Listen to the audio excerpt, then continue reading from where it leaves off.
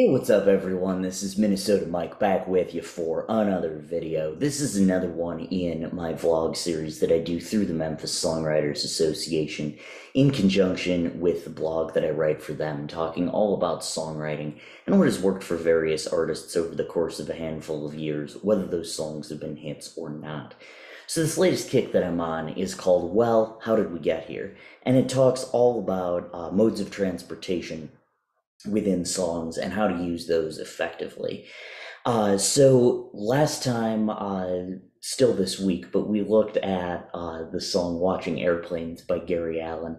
And uh, we also looked at the week before Little Red Corvette by Prince and uh, the song A Horse with No Name by America. We're going to close out this discussion with uh, the song City of New Orleans by Steve Goodman. And of course, it's been covered multiple times, so take your pick of your favorite cover. Lyrically, just looking at the title, you would think City of New Orleans would have fit better in my uh, state and city blog.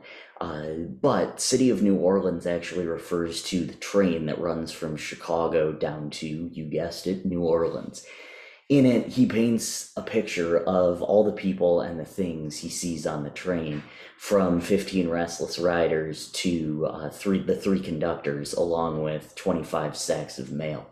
The chorus then details a charming innocence by kindly asserting, Good morning, America, how are you? Don't you know me? I'm your native son. There are many songs about trains out there, but most of them, like the airplane songs, are written from the perspective of the writers. So, Selah by Fountains of Wayne, we discussed in an earlier blog, and then The Gambler uh, by Kenny Rogers, as well as King of the Road by Roger Miller, just to name a few. This song, however, is unique in that it personifies the train. When the train pulls in, it greets everyone around it by saying, Good morning, America, how are you? Also, not to be forgotten, this is one of over a thousand songs that mention Memphis in its lyrics. I, I can't let this lyrical section end though without giving uh, some long overdue credit to Steve Goodman. This song has been covered by countless artists, like I said, and sometimes when that happens, the song can fall, fall victim to oversaturation. But this is such a charming song, and I don't think it'll ever get old there would be no John Prine without Steve Goodman. Uh, both were fabulous songwriters, but Steve Goodman doesn't always get the credit that he deserves. Um, and uh, some of that is on me too, uh, you know, since I pick out uh, blogs based on theme, not necessarily based on writer um, you know, but I could have picked out Steve Goodman a little bit sooner uh, had I been a little more familiar with his discography.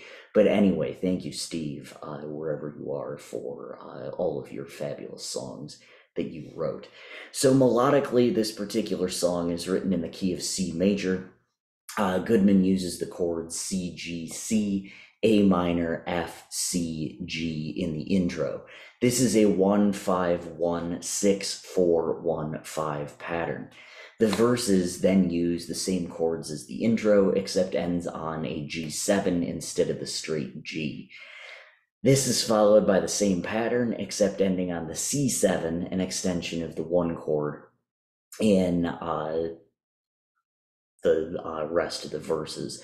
Um, the pre-chorus then uses A minor, E minor, G, and D before ending on A minor, E minor, G, G7, C, and C7. This is a uh, six, three, five, one pattern. The chorus then uses F, G, C, C7, A minor, F, C, and G7, which is a four, five, one, six, four, one, five pattern. Then it ends on A minor, F, G, C, and G, which is a six, four, five, one, five pattern. Instrumentally, the song uses acoustic and bass guitar, as well as violin and drums. Structurally, this song uses a verse, pre chorus, chorus, verse, pre chorus, chorus, verse, pre chorus, chorus format. There's a lot to cover uh, in over 900 miles, but it never feels like an arduous journey. Instead, the joyous nature of the song gets us excited for each verse and each new thing the train is going to point out. The last chorus changes from Good Morning America to Good Night America, which is not currently a talk show like Good Morning America, but if Good Night America We're currently a talk show, I'm sure Ryan Seacrest would be hosting it. Uh, so, City of New Orleans is uh, embedded below. You can uh, enjoy it. Uh, this is the Steve Goodman version, by the way, that I am uh, attaching, uh, embedding, and in the case of the vlog, I guess I'm linking it. Um, you know, choose whatever verb you want, but it's there. Uh, so you can uh, listen to that, and then I'm sure you can go down a rabbit hole of all the many covers. Uh, Woody Guthrie's is another one of my favorites. Um, and actually, on a side closing note, uh, two of my friends do a really good cover of this song, which kind of made me, uh, you know, listen to it with new ears.